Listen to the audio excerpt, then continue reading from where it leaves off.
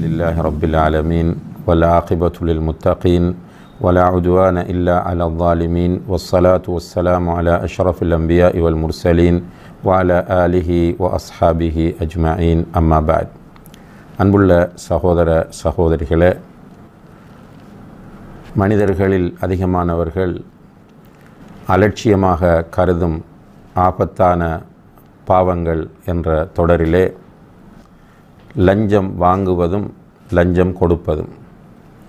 இஸ்லாத்தை பொறுத்தவரையில் பொருளாதாரம் பற்றிய ஒரு தெளிவான கோட்பாட்டை முன்வைக்கக்கூடிய மார்க்கமாக இது இருக்கிறது அடுத்தவர்களுடைய சொத்துக்களை அநியாயமான முறையில் தவறான முறையில் சாப்பிடுவதை இஸ்லாம் வன்மையாக கண்டித்திருக்கிறது.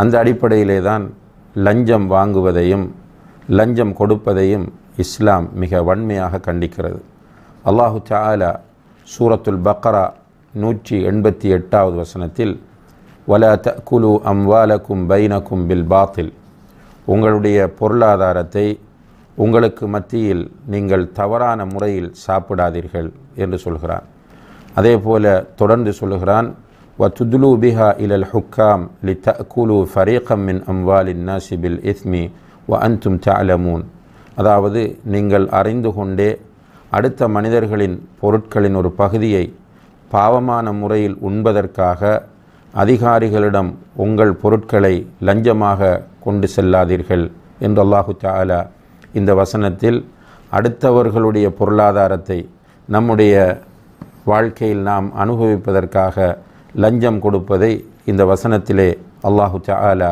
கண்டிக்கிறான்.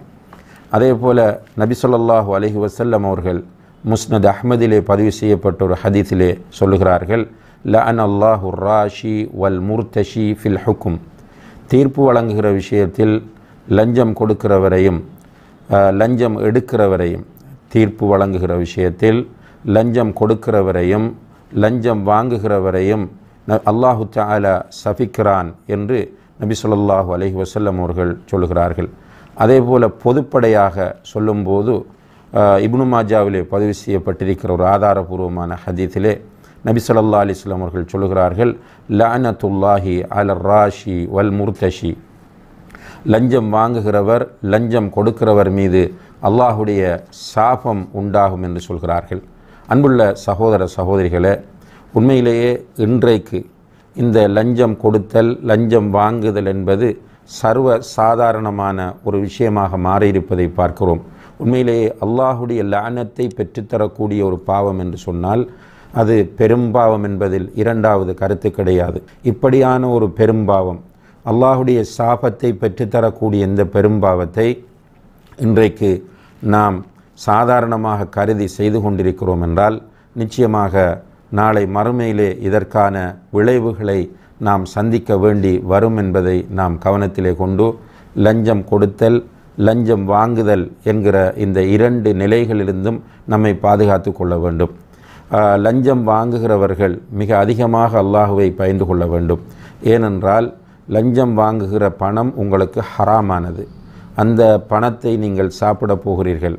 உங்களுடைய பிள்ளைகளுக்கு சாப்பிட கொடுக்க போகிறீர்கள். உங்களுடைய ஹலாலான பொருளோடு இந்த பணமும் கலக்கப் போகிறது. அப்போது உங்களுடைய வாழ்க்கை ஹராத்தில் செல்வதற்கான வாய்ப்புகள் நிறைய இருக்கின்றன. அந்த நேரத்தில் நீங்கள் அல்லாஹுடம் துவா செய்தால் அல்லாஹு தாலா உங்களுடைய பிரார்த்தனைகளை கபூல் செய்ய மாட்டான் என்பதை புரிந்து கொள்ளுங்கள். எனவே லஞ்சம் வாங்குகிறவர்கள் அதிகம் அதிகம் அல்லாஹுவை பயந்து கொள்ளுங்கள். அதே நேரத்தில் லஞ்சம் கொடுக்கிறவர்களும் உங்களுடைய இந்த செயலினால்தான் அவர்கள் லஞ்சம் வாங்குகிறார்கள் என்பதை புரிந்து கொண்டு லஞ்சம் கொடுப்பதிலிருந்து தவிர்ந்து கொள்ளுங்கள். லஞ்சம் கொடுப்பது அல்லாஹுடைய சாபத்தை பெற்றுத்தரக்கூடிய ஒரு விஷயம்.